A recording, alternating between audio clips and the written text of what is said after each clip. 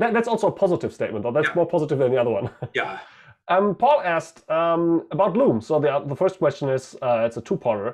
Uh, when will Loom be GA? I guess that's going to be a short answer, uh, but maybe a longer answer on what do you see of the f- uh, what do you see as the future of reactive programming in Java going forward?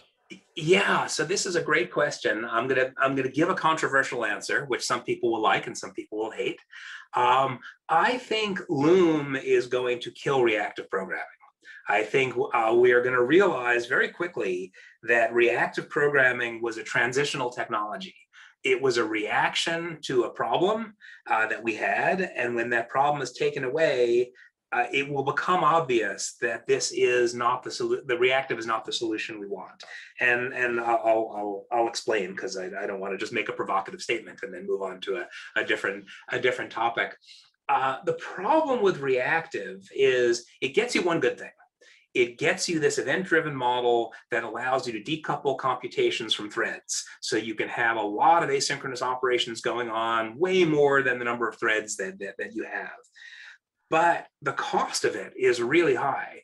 Uh, basically, you have to give up so many things that the language already gives you. You give up control flow statements. You give up being able to write simple loops uh, you give up uh, having, you know, being able to sequentially debug your code.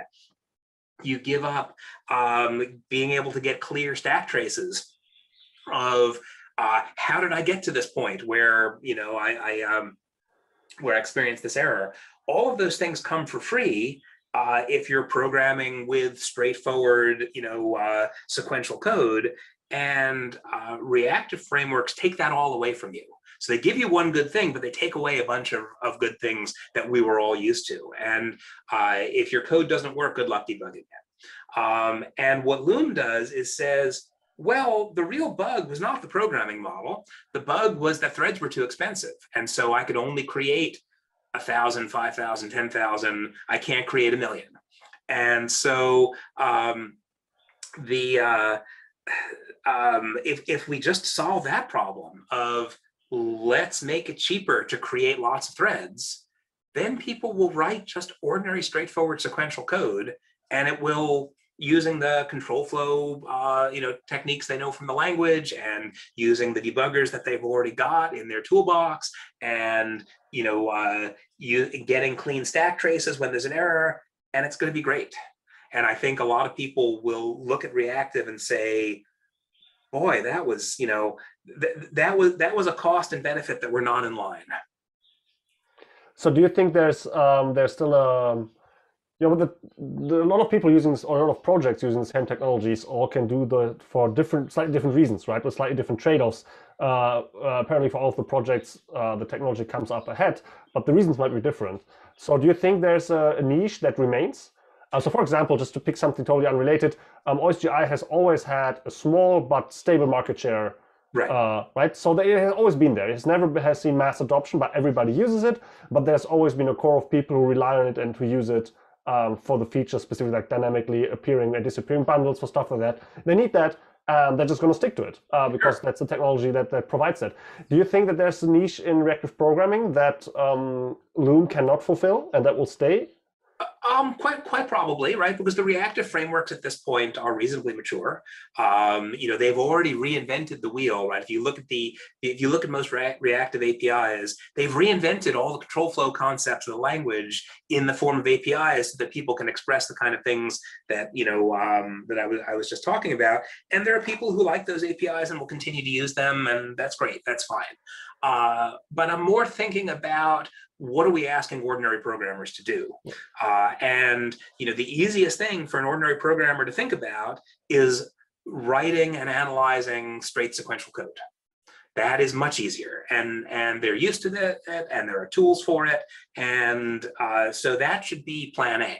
Doing something weird should be Plan B. But uh, for a long time, reactive intruded uh, to where a lot of ordinary programmers had to deal with it because it was the only way to get the throughput that they needed, you know, from the technology we had. Um, yeah. and, and so it, I think it probably will go back to its niche. Um, and, you know, like an, another really uh, powerful example about what Loom does is, um, so if you look at all the workarounds that we have to do because threads are expensive, right? So you have to have thread pools, right? Uh, now the JDK added thread pool support in Java 5, so thankfully no one has to write their own thread pool implementation anymore, but you still have to use them. And thread pools don't interact very nicely with thread locals. So uh, if you have, and, and thread locals are not something you can prevent libraries from using. So you can like call off into some library and maybe it sticks a thousand thread local values in your in your thread and all of those are pinned in memory until your thread pool shuts down. And you had no idea that was going to happen because you were just making this method call into some library and we thought it was going to do something for you. Um, it, with Loom, because threads are cheap to create, that means we don't have to keep them around for as long as, you know, uh, artificially the way we do with thread pools.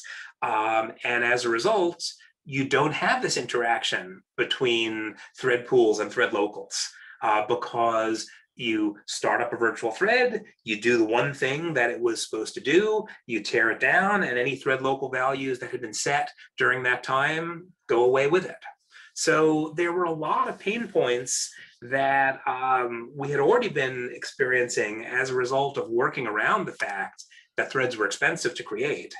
Uh, reactive was one of them, but there there were others too. And I think Loom will.